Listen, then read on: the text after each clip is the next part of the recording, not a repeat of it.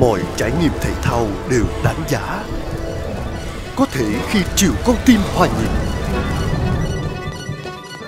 Hay chút phấn khích lúc chiến thắng chính mình.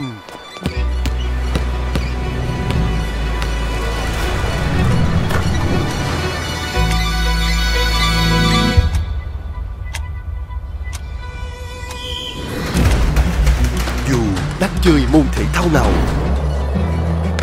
hay đang đồng hành cùng ai? Chỉ cần cứ dấn bước trải nghiệm.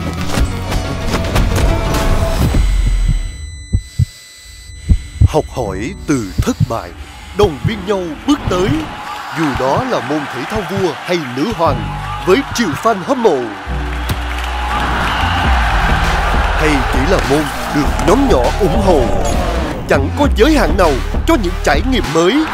Super Sports thể thao không giới hạn.